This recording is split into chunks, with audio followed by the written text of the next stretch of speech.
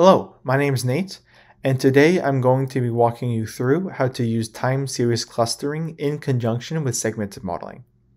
That will entail clustering a time series dataset, using that clustering algorithm to define segments in a segmented modeling project, and finally deploying that segmented modeling project into production.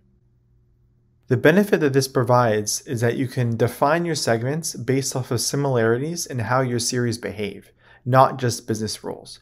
And the idea is that this could get you better accuracy out of your segmented modeling project. To start with, we're going to be using this dataset where we will be predicting sales on a store by store basis. To set up a clustering project on the start screen, you select No Target to turn on unsupervised learning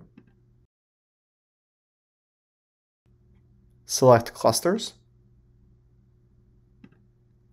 and then set up time aware modeling by choosing your date time field.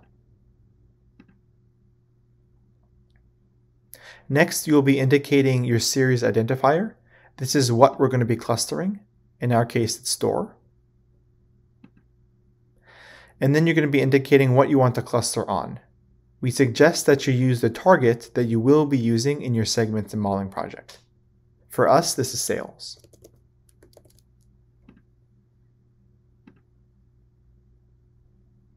Next, you can select your feature derivation window, which indicates how far back we look when we're building your clustering algorithm, and you can set any advanced features that you want here. Once everything is set up, you're ready to start the autopilot process.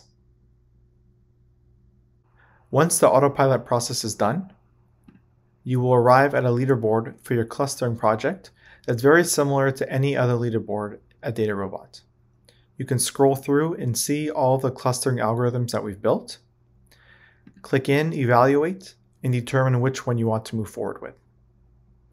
Once you've determined which one you want to use to define your segments, you go to Predict and the Use for Segmentation tab. Here, you can kick off a segmented modeling project using this clustering algorithm to define your segments. To do this, you type in the target that you want to use in your segmented modeling project and click Create Project. You'll see down here in this table, we show you all the projects that you've created based on this clustering algorithm and their project status. Once it's created, you can click Go to Project to jump to that project and begin your segmented modeling journey. In the associated segmented modeling project, you'll see everything filled in, including the targets that you just typed in, and the segmentation method corresponding to the clustering algorithm. You can adjust as needed, set any advanced features, and then click Start to begin the segmented modeling autopilot. Once this is done, you'll arrive at the leaderboard that contains your combined model and all the segments that were defined by your clustering. You can click into any of the segments, seeing the full leaderboard, looking at insights, evaluating all these models, and setting your champion for each segment. Once you're happy with all of your champions, to deploy, you go to Predict, the Deploy tab, and click Deploy to launch the deployment.